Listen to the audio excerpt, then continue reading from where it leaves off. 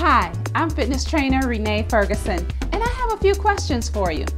Are you ready to reach your fitness goals? Do you want to add years to your life?